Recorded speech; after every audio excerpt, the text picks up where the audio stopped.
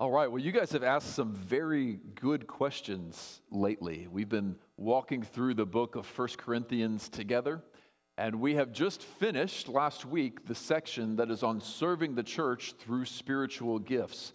So much good wisdom in those chapters for us, and so many funny little phrases that make us ask questions. And you guys have been asking good ones. Uh, the difficulty looks kind of like this. Now, usually, it's my job as the preacher to get to the heart of a sermon text, to ask, what is this author saying? And then proclaim that message from this author into your lives. And so, very often, we're looking at one text of the Bible and we're saying, okay, here's what Paul's point was, or here's what Hezekiah's point was, as he has a few words in there too, or uh, here's what John's point was, and then we're proclaiming that into our lives. And that means sometimes the questions that you would bring to the text are not the ones that the text answers most directly. And so, there are in the room right now a lot of unanswered questions. Uh, so many that have piled up that I'm going to dedicate this whole sermon to answering the questions that you guys have asked about how spiritual gifts work. And then we'll have a few Sundays where we focus on missions while we have a missionary visit, and then we send a team into a mission trip the next week. And then, God willing, three weeks later, I hope to come back to you and begin again in 1 Corinthians chapter 15. So that's what we're doing this week. We're looking at your questions on spiritual gifts. And the first one is not a question that any of you asked. But I wonder if there is a newcomer here or if there is someone who is new to Christianity here who is asking, Well, you say spiritual gifts. What are spiritual gifts? So let me just kind of orient you to what they are first, and then we'll get to the more pointed questions that you guys asked about them. A spiritual gift is a special ability given to you by God's Spirit to help you serve God's people. I'll say that again. It's a special ability given to you by God's Spirit to help you serve God's people. We actually see them throughout the Old Testament, and then they're talked about more explicitly in the New Testament. And there's a big change that happens in the New Testament. Even in days of old, there were men like Enoch, the seventh from Adam, who had the Spirit of God rest upon him as a prophet. And then there were people like Moses who had the Spirit of God rest upon them to give them the ability to lead Israel and to speak as a prophet.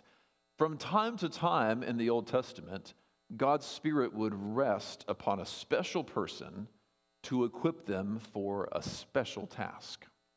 So you see that in Moses, and then his spirit rests upon the 70 elders that he appoints, and they lead Israel with the Spirit of God upon them. You see the Spirit of God rest upon judges like Jephthah and Gideon and Samson. And when he does, the Lord gives them great military might. You see the Spirit of God rest especially on David and Saul to give them leadership and military might. You see the Spirit rest upon men like Bezalel and Aholiab, men that we don't talk about very often, but they were very much gifted by the Spirit of God. They were there in Moses' day when the tabernacle was being constructed. And you may have read about the very intricate decorations that were woven and carved and beaten out of gold and, and, wool and things like that.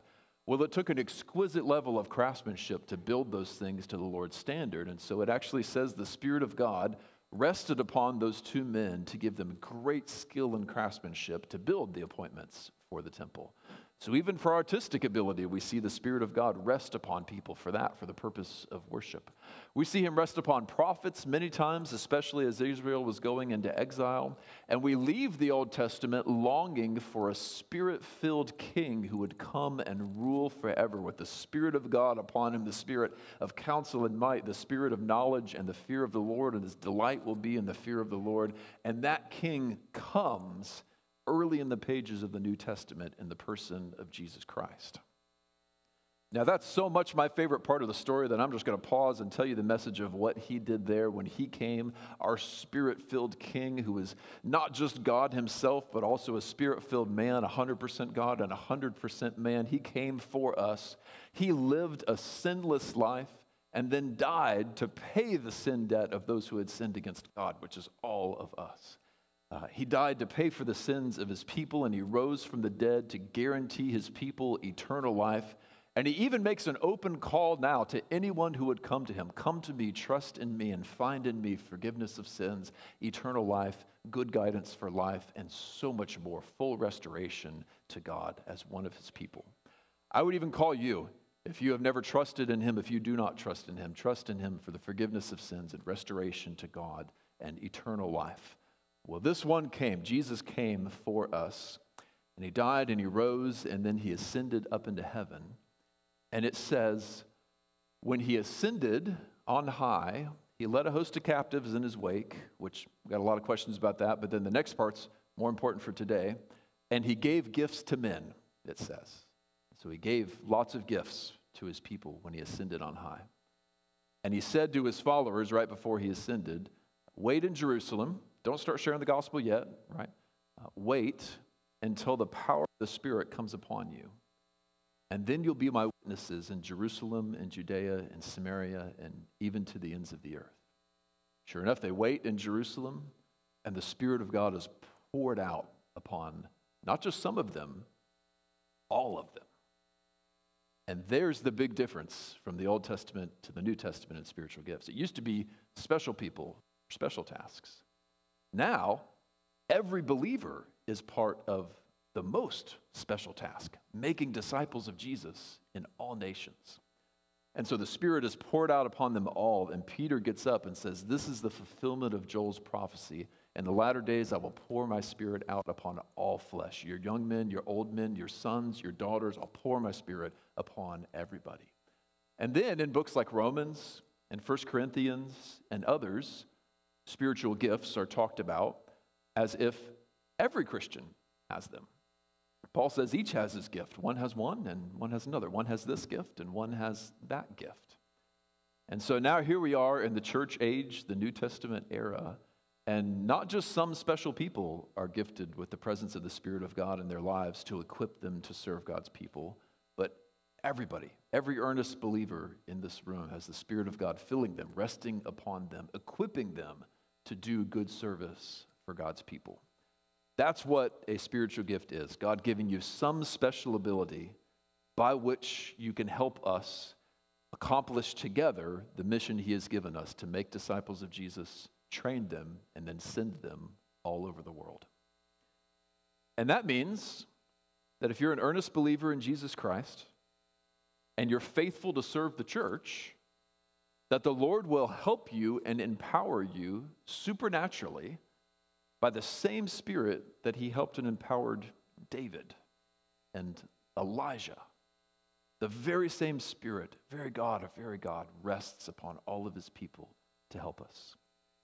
And that is true whether you do something public and notable like preach or sing, or whether you do something very private like give gifts in secret or whether you do something like serve the coffee or fix the plumbing when no one is around or rock babies in the nursery, whatever you're doing to help us accomplish our mission, the Spirit of God says, I'm there, I'm with you, I'm equipping you to do this good work in the name of my Son, in the name of the Son of the Father.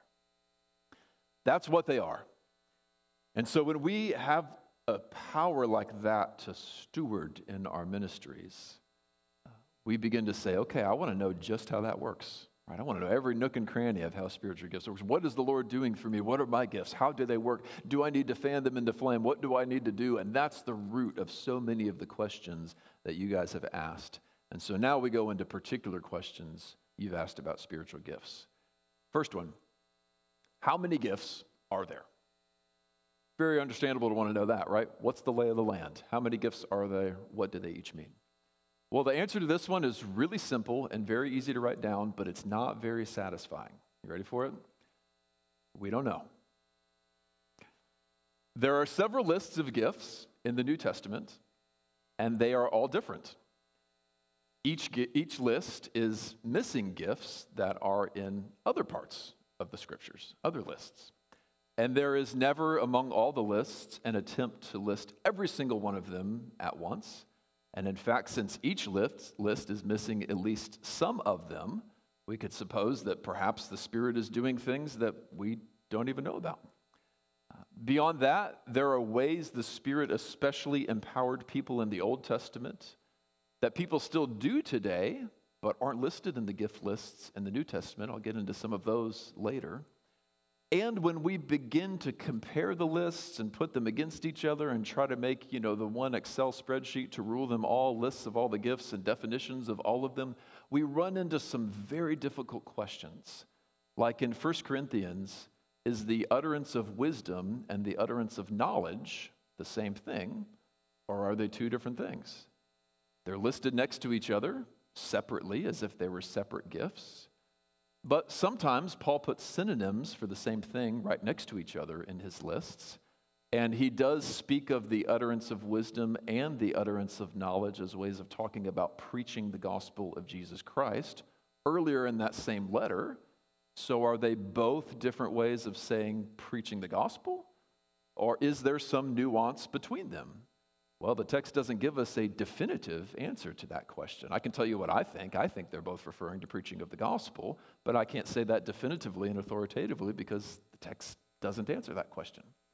We come across other hard questions like what is the gift of faith? We can make a pretty good grasp at that, but there's never a point where it says, here's what the gift of faith is. And so we get a lot of information about spiritual gifts, a lot of teaching about it. We get more than enough to live godly and holy lives, but the scriptures just don't tell us everything that we want to know about them. That really shouldn't surprise us.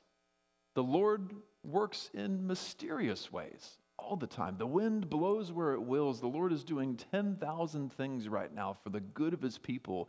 And maybe we're aware of five or six of them. He does so many things that we don't know and we are not aware of. And so, we can get a lot of good teaching about what some of these gifts are and what they, how they work, how you can fan them into flame but we don't ever get the final end all be all. Let's put it in an Excel spreadsheet. Here is what the gifts are, and here is what they all mean. It just doesn't give us to it, give them to us that tightly. To try to do that would be like building the Lego Death Star with only two thirds of the Lego pieces. You would never get it fitting together just right because all the information is not given to us. So, we know a lot about spiritual gifts. We know what a lot of them are, but we don't know all of them, and we don't know how to define all of them. So we have to stop short of building a full system. That's the first question. The next set of questions comes from people who really eagerly want to know what are my gifts and how can I use them to faithfully serve the church? Next three or four questions are all for that kind of person. The first question in that set could I have an unused or undeveloped gift? That question is often asked by people who aren't sure what their gifts are. They want to serve well, they don't want to bury their talent. And the answer to that question is in different ways yes. Can I have an unused or undeveloped gift? Yes, that is possible.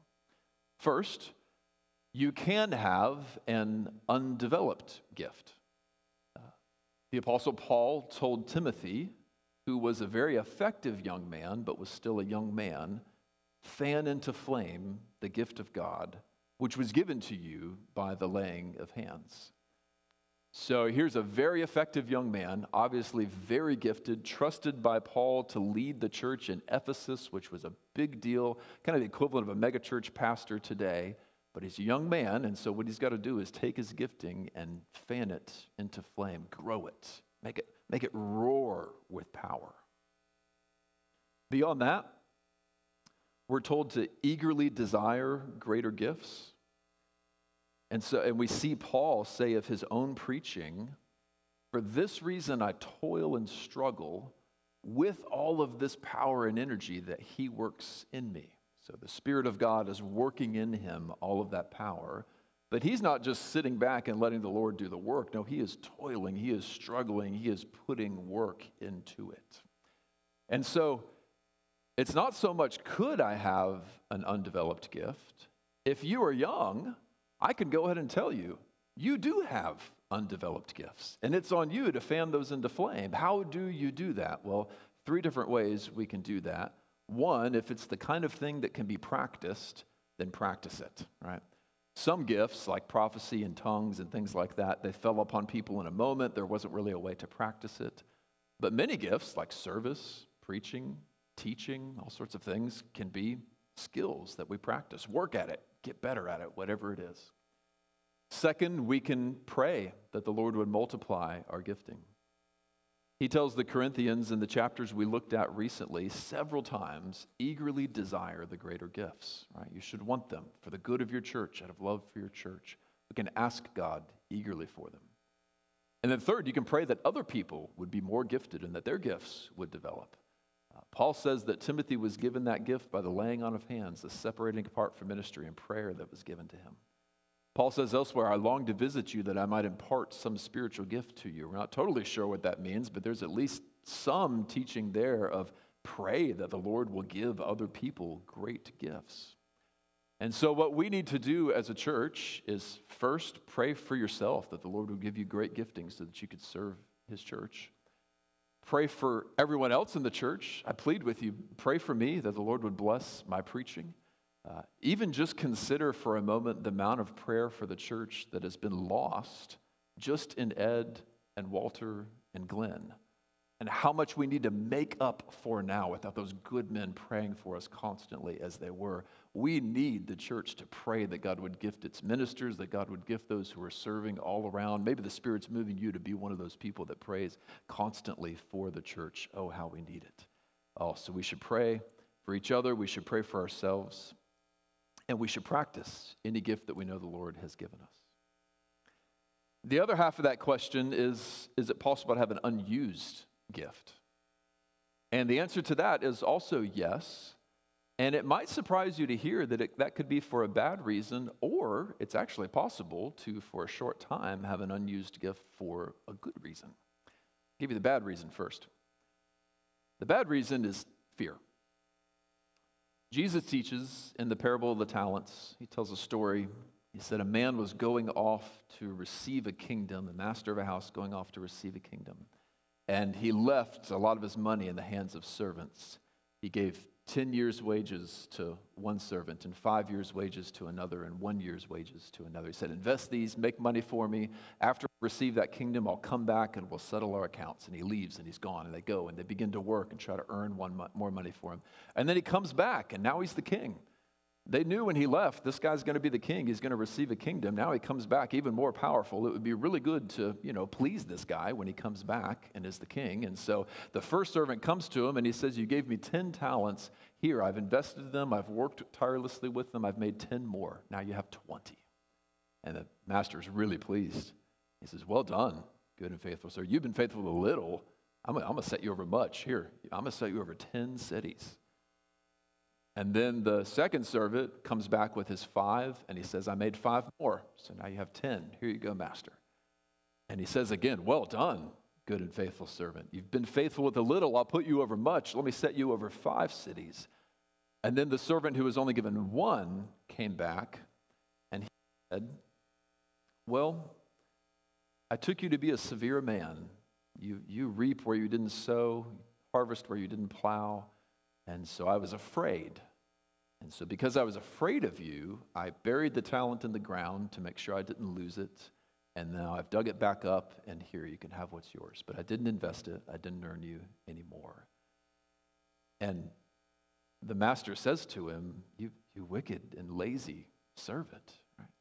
If you thought I was a severe man, you should have at least gone and put it in the bank, or it would have been safer and it would have earned at least a little interest for me, and I could have something. But now I've, you know, you haven't produced anything for me. And he cast that servant out of the kingdom.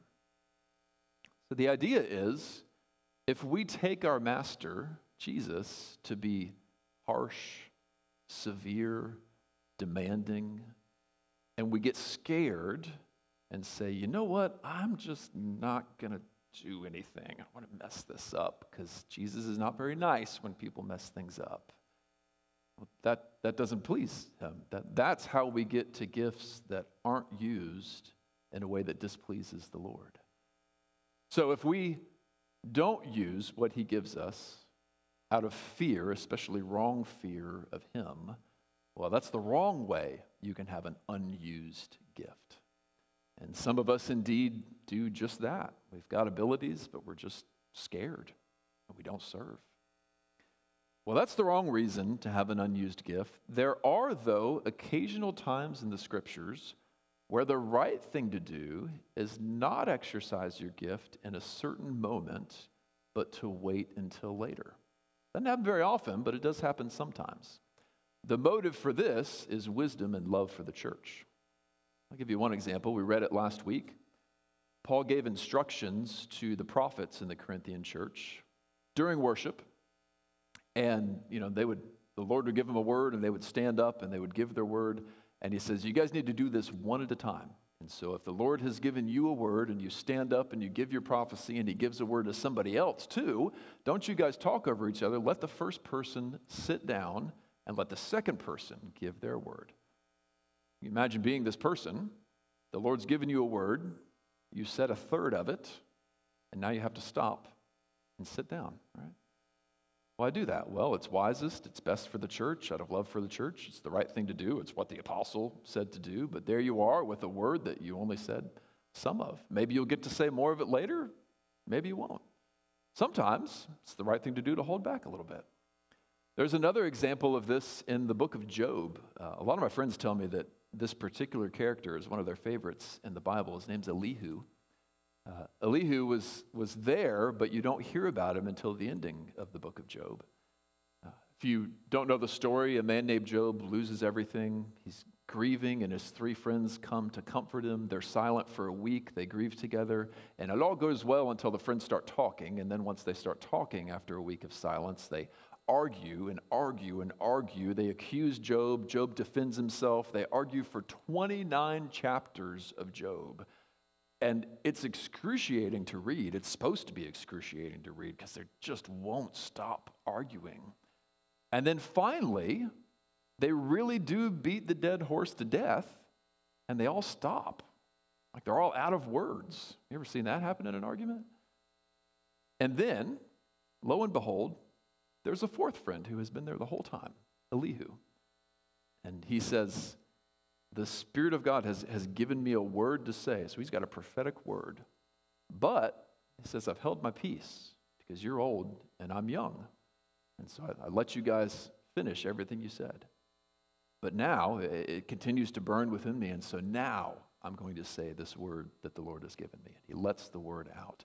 And guys, he just mops the floor with them. I mean, oh my goodness. It's, he just owns them. It's so good. But he waits for 29 chapters while it just builds up in him before he lets it out. There's our reminder that a sense that God wants me to do something is not a license for impulsiveness or entitlement. No, we still have to be wise. No, we still have to love the church. There may be seasons when you have a certain gift, but it's just not best for the church to exercise it right now.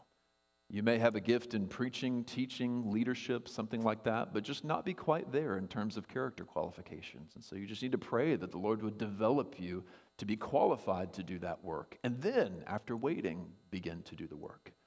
You may be gifted in one really wonderful area of service, but have a health issue for a while and just have to say, you know what, in God's providence, I can't do this right now, and that's okay. It's best for the church. I love my church, and so this is what I'm going to do. There are times when it's all right to step back for a minute and say, I'm not going to use my gift for the good of the church, but I hope I get to soon. So, yes, it's possible to have an unused gift for a time for a good reason. The motive has to be wisdom and love for the church. It's also possible to have an unused gift for the wrong reason, and that wrong reason is fear.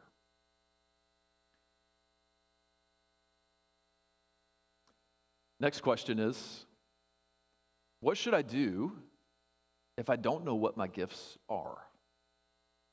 And this might be my favorite one because I can remember being there as a young man. Uh, the short answer is to, to love your church and find a way to serve it. Or another way to say it, it would be just find something to do anyway. Uh, there's two reasons for that. One, we're never told in the scriptures to figure out exactly who we are and understand how the gears of your heart work and just how God made you. That can be wise and good, but we're never told we have to have perfect self understanding of how God is working through us. we are told to busy ourselves with the Lord's work and to work toward the Great Commission. So it's more important that you're actively serving than it is that you fully understand how God is working for you. So might as well just find something and do it. The other reason is that most of us who know what our gifts are learned it by doing it. In fact, I'll give you my testimony about that. I think that every way that I serve the church, I didn't know I was gifted in it when I started doing it. And in fact, there were just people who loved me enough to let me do it when I was bad at it. And then when I finally got okay at it, loved me enough to tell me, hey, I think you might actually be gifted in that. That's true of music, that's true of preaching, it's true of teaching, it's true of all of the ways that I serve the church. You got to be willing to be bad at something before you get good at it. Don't think just because you're gifted that you're going to step into something and be amazing at it from the get go. No, you got to fan gifts into flame, and sometimes the embers burn so small at first that you don't even realize they're there. So find a way to serve the church. Do it alongside people in the church who you know love you. Like, don't find something to do alone in the church because nobody's going to see you and tell you that you're good at it. And then develop the kind of relationships where people can say to you, hey, I, th- I think the Lord's gifted you in this. I think there's something here. That's the best and most effective way to discern what your gifts are. But let's just consider for a minute what if that didn't work? What if maybe some of you will serve the church faithfully your whole life, and then, after a whole long life of not really knowing what your spiritual gifts were, but faithfully serving the church, you'll meet the Lord and He will probably answer a lot of questions for you, and you'll fall at His feet and worship. Uh, what he, we know He will say to those who faithfully serve Him is, Well done, good and faithful servant. I would not be surprised if the next thing He said was, Okay, now let me show you how I was working through you that whole time. You don't have to be aware of what the Spirit of God is doing through you to serve faithfully and to earn great reward in heaven. If you figure it out, great, wonderful, fan it into flame. If not, just serve with all you've got. Ecclesiastes says, whatever your hand finds to do, do it with all of your might. Next question Are spiritual gifts inventories useful? This is also asked by people who aren't certain what their gifts are. Uh, if you don't know what a spiritual gift inventory is, it's kind of a, it's almost like a personality test. There's probably a dozen of them out there that people have made. And they'll ask you questions like, uh, do people ever tell you that you're a really merciful person? Or do you enjoy giving to your church? Or things like that that are basically ways of kind of you know getting you to say some things about yourself and how you perceive yourself and maybe what you remember from what others have told you. They'll take your answers and then kind of run it through the machine and then comes back a result that says all right your gifts are first this second this third this. It's just like a personality test but for spiritual gifts. Uh, we might ask, okay, is that useful? Should I go do that? Would that help me figure out what my gifts are? Uh, the answer is that they aren't wrong, but they are often disappointing, and that's for three reasons. First, all of the answers you're going to give are going to be self reporting, right? They're going to ask you how you perceive yourself. They might ask you, do other people say this about you? And if it stuck in your head when people said that about you, then you're going to say yes. But if you weren't really listening when people said that about you, you're going to say no. Uh, every answer you give is going to go through that filter of how you perceive yourself. And who among us really knows ourselves perfectly, right? What would happen if the person to the left of you were to fill out a spiritual gifts test about you? Would they answer the same thing about you that you answer about yourself? No, probably not, right? Because none of us know ourselves perfectly, and the other person doesn't know ourselves perfectly either. So you're going to be giving answers from your own flawed sense of who you are and what you're good at. So that's the first reason that they can sometimes be disappointing.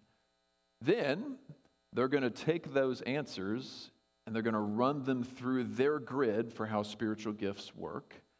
And remember, I said earlier, we have a lot of good teaching in the New Testament about gifts, but we don't get the full put all the Legos together system in the New Testament. So, any fully constructed grid that you could run a set of answers through is going to have some, you know, best guesses, educated guesses about what these gifts mean, and is going to have some flaws in it. So, you've got my flawed answers about myself going through a flawed understanding of the whole system of how these things work, it just makes sense that the answer coming back is not going to be perfect. It's going to be flawed, right? Now, that's not bad. It could still be useful. Maybe they pointed out some things that you didn't know. Maybe they affirmed something that you were pretty certain was true about yourself. You can get a lot out of them. But the real problem is the third reason they can be disappointing, and that is the authority that we tend to give them. If you're just using it as a starting block, you know, you look at it and you say, oh, mercy, that's a neat, I'll, I'll learn what that is. Maybe I have that. And that's it. Great. You'll probably gain a lot out of it. But I know a lot of people who have done one, they get the result back, number one or number two, and they say, I know that's not right. And so they don't pursue that one. And they're confident that they're right about this, but 10, 20, 30 years later, there's this guilt hanging over them you're not pursuing that gift like the test said you should, right? Because there's just something about American culture that, you know, you've probably taken tests in school that were bubbled answers on a Scantron and you got an authoritative answer back. And we just tend to give things like that a lot more power than they're due. And Satan can use that against people. He can use that to fill you with guilt for not pursuing something that was on a test. He can use it to give you a big sense of entitlement about a gift that's not really there. So, as long as you remember that they're flawed and they're going to give you flawed answers, they can be useful. If you start to treat them the way that you treat the scriptures, like we sometimes do, that's where the problems can come in. So, there's our answer as to whether spiritual gifts inventories are useful. A far better way is just to serve the church alongside people you love and listen to what they say. All right, next question. This one's actually three questions in one, but I, I, cheated and I rolled them together into one. Next question Are music, leadership, and evangelism real spiritual gifts? Three different people asked about each one of those, and I'll give you a short answer. To leadership, the answer is yes. Leadership is listed as a spiritual gift in the scriptures. Uh, we see in the Old Testament the Spirit of God rest upon a lot of great leaders in Israel. I mentioned some earlier Moses, the 70 elders, David, even Saul, uh, many others as well. In fact, our great King, Jesus Christ, even though he's God himself, also has the Spirit of God resting upon him, gifting him to lead. I don't know if that's like double the level of leadership or what goes on there. Uh, pretty wonderful to think about. So there are people who have the Spirit rest upon them for the sake of leadership, like Joshua and others in the Old Testament. And in the book of Romans, in Romans 12 8, leadership is plainly listed as a spiritual gift. And so we can be confident, yes, it is. Also, 1 Corinthians 12 20 lists administration, which may or may not be the same thing, may have some overlap with leadership, but there's probably at least some overlap there. So we can say confidently, yes, Leadership is a spiritual gift. If you lead anything for the church, whether it's a family or a ministry or the whole church as pastor elder, uh, pray that the Lord would rest upon you and give you great gifting to do that, for you very much need it, and the Spirit's glad to give it. Secondly, is music a real spiritual gift? And we could lump the arts in there too if you're into the visual arts as well. Uh, some would say no, because music and the arts are not listed in the New Testament as a spiritual gift. However, I believe yes, they are real spiritual gifts because they are mentioned in the Old Testament. Uh, you can remember the two servants I told you about earlier in the book of Exodus Bezalel and Aholiab, difficult to say names, but it was very much the Spirit of God resting upon them to give them great ability and craftsmanship to make all of the things for the tabernacle and the temple. And it's just listed plain that way. It's the Spirit of God resting upon them to do that. It's spoken of just like a spiritual gift. So we have at least that instance in the Old Testament where servants of God are equipped with great artistry for the sake of God's people to worship God there in the tabernacle.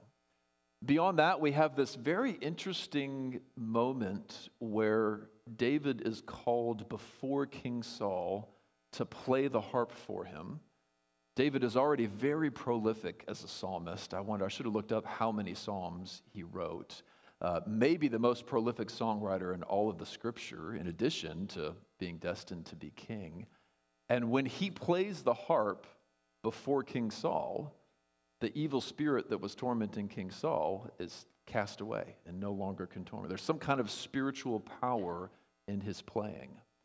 Is that a spiritual gift? It sure sounds like it. It doesn't say it as overtly as it does with Bezalel and Aholiab, but it sounds like something spiritual is going on there as well. And so we do have some precedent of the Spirit of God equipping people in the arts and in music. And then in the New Testament, we are told that when we are full of the Spirit, all of us sing.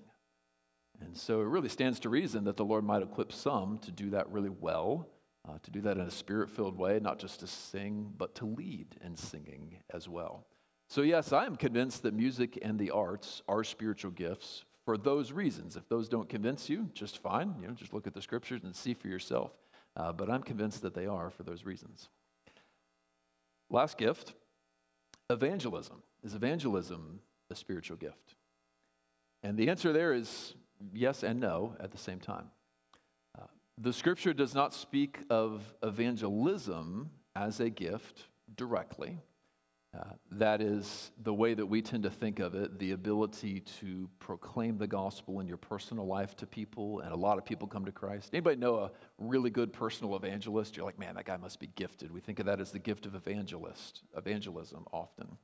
Well, the scripture never speaks of evangelism as a gift, it never speaks of it quite like that. But it does speak of evangelists, people. And those people are gifts. We see that in Ephesians 4. God gave the apostles, the prophets, the evangelists, and the preacher teachers. He gave them as gifts to the church to equip the saints for the work of ministry. So there are people who are evangelists, and they are gifts to the church. Now, it stands to reason those people have the gift of evangelism, but it's not quite spoken of like that in the New Testament. So we might ask, okay, what is that? What do we know about it? Well, there are two men in the scriptures that are, we're told have that gift. Uh, one is Philip in the book of Acts. Uh, Philip's daughters are all prophets, by the way, which is also rather interesting. And the other one is Timothy. In either 1st or 2nd Timothy, Paul writes to him and he says, Do the work of an evangelist. He's talking about his gifts. He says, Do the work of an evangelist. And so Philip and Timothy are the two evangelists we know about we know that both of them traveled a lot to give help and encouragement to the churches and to preach the gospel. And we know that Philip was one of the seven deacons in Acts 6. And that's, that's really all that we know. And so that's one of those gifts that we have to make our best guess on what that is.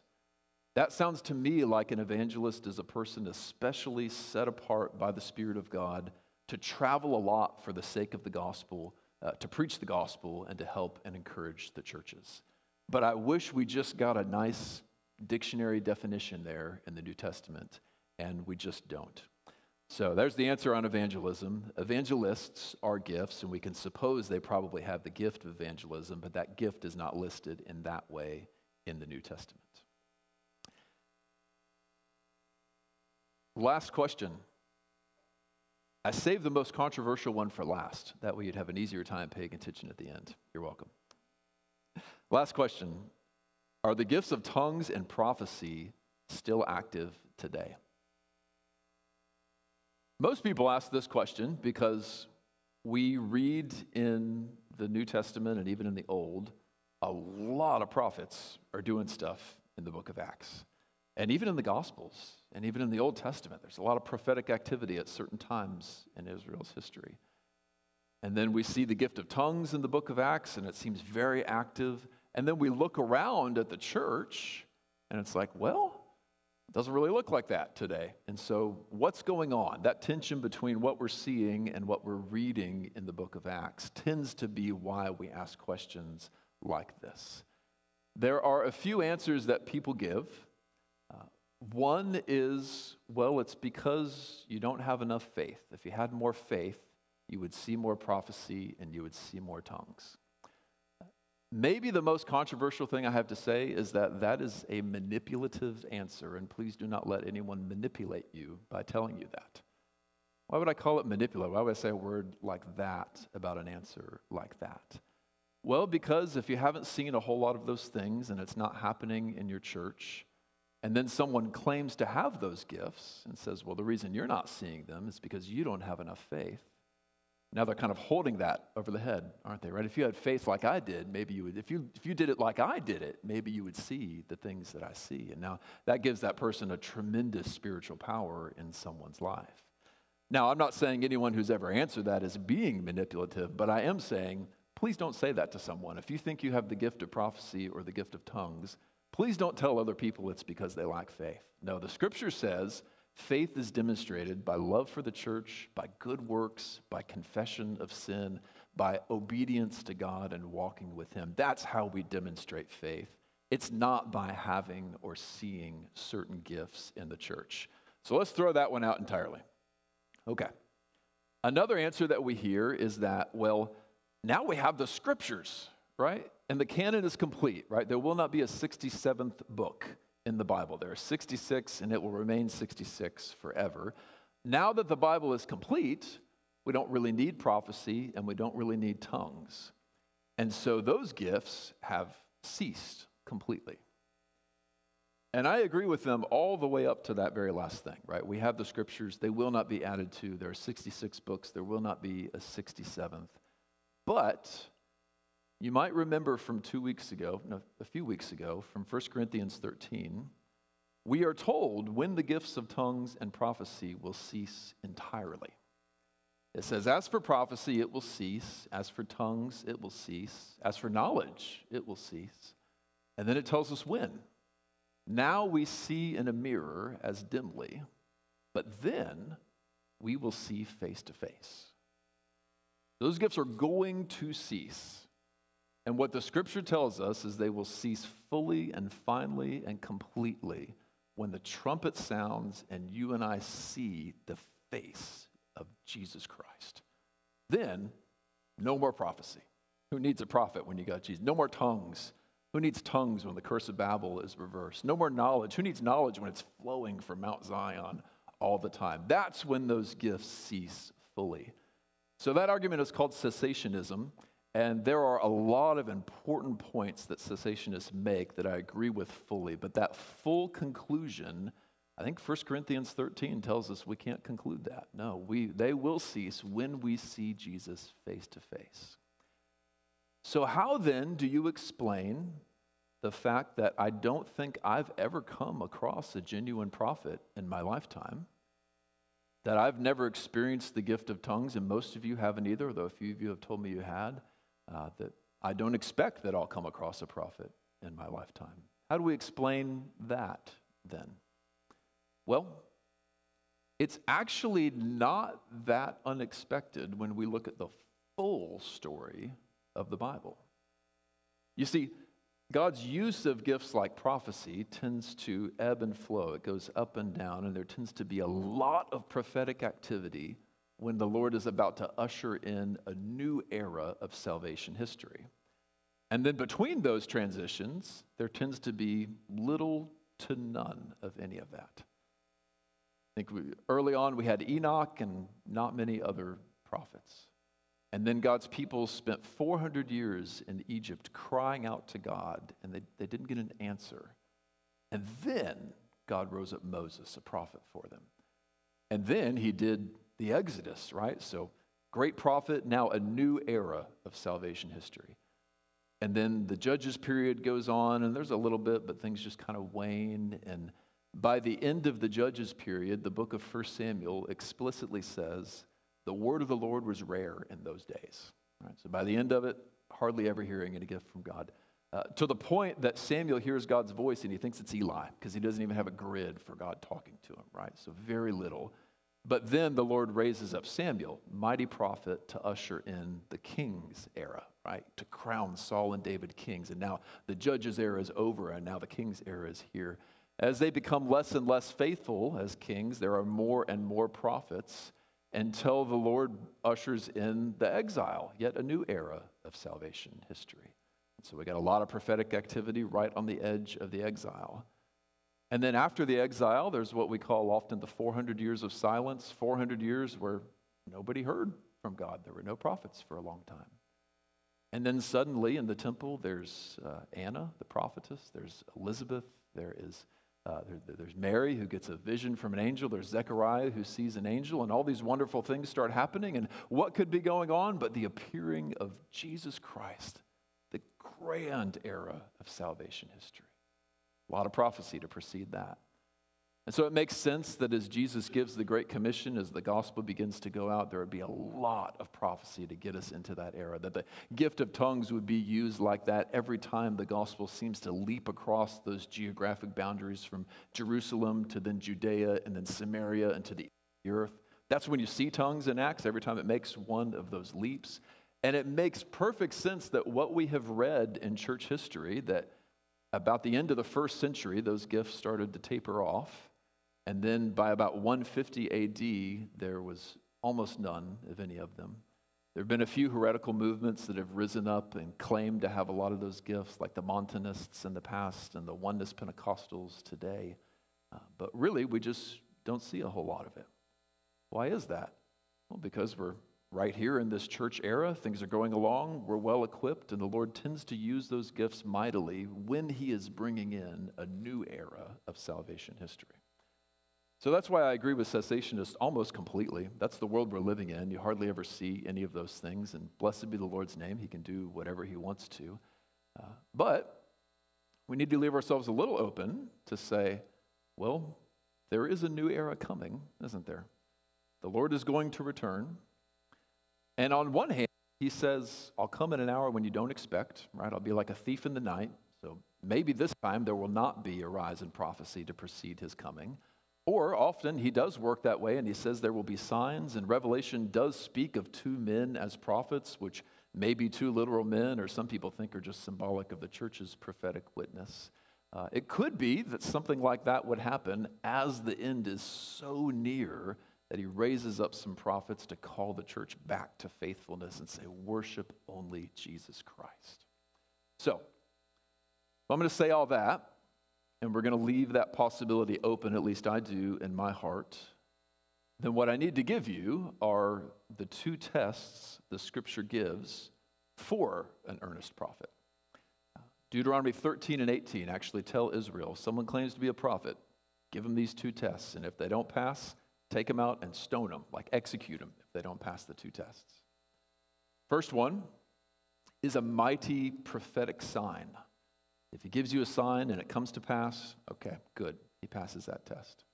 All the prophets in the scriptures, you can read about them. They often have wonderful signs. Moses walks in and throws his staff on the ground and it becomes a snake. You know, just incredible, miraculous things these prophets do. Those verify that they're really a prophet. Somebody just waltzes in here and says, I'm a prophet, everybody listen to me? No, we're not going to have that. No, you got to have some kind of sign from the Lord. So that's one. And then in the other of those two chapters, he says, if a prophet comes and he gives you a sign and it does come to pass, but he doesn't call you to worship the Lord alone according to the words of this covenant. He calls you to worship idols, he calls you to break the covenant. Don't listen to him. The Lord your God is testing you. That's the second test. Same thing if you fail that one, take him out, stone him. So the two tests are a mighty miraculous sign and a call to worship Jesus Christ alone under the authority of God's written word. They pass those two tests. Okay, you got my attention. Uh, the New Testament echoes those tests. It says, test the spirits. It says, this is how you can know if one is true. If they say that Jesus Christ has come in the flesh, which was the main heresy that was being taught that day, that he didn't come in the flesh. Uh, we test them in the same ways now, and Today, if someone were to do that, if they were to claim that they were a prophet and we had to listen to them, and they did not pass those two tests, uh, if they were not a member of our church, I would just tell you guys don't listen to them and probably call some friends or try to make some kind of public, hey, don't listen to this false prophet. If they were part of our church, we'd call an emergency business meeting. I'd gather you all together. I'd say, this person claims to be a prophet, but they are a false prophet. I encourage you to move to vote to remove them from membership in our church. This is the New Testament equivalent of what we're taught to do in the Old Testament. So it's serious. This is not just some open, anybody can just claim to be a prophet that you see in a lot of circles. No, it's a serious deal, it's a big deal. I don't expect it will happen in my lifetime. Maybe it will happen as the Lord's return approaches, or maybe it will not. But we got to take 1 Corinthians 13 seriously. That gift will end when we see Jesus Christ face to face. We take that on faith, we trust in that, and we trust His word to guide us, to take us all the way to the very end. All right. Those are the questions you guys asked about spiritual gifts. Uh, I want you to know I love your questions. There were a couple we couldn't get to. I wish we could have. Uh, those of you that had questions that weren't answered, I hope to email you soon. Uh, I just love that we have a church that wants to explore the Word of God, that asks difficult questions, and brings them to the Lord, and says, Lord, would you answer us? So, with those answers from the Scriptures, let's go to the prayer, Lord in prayer and let's ask Him to bless us.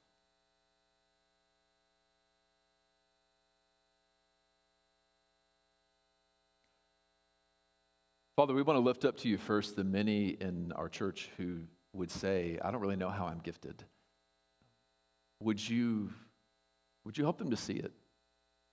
Would you give them such great and mighty gifting that, that no one can miss it? That anyone who serves alongside them says, You are gifted in that.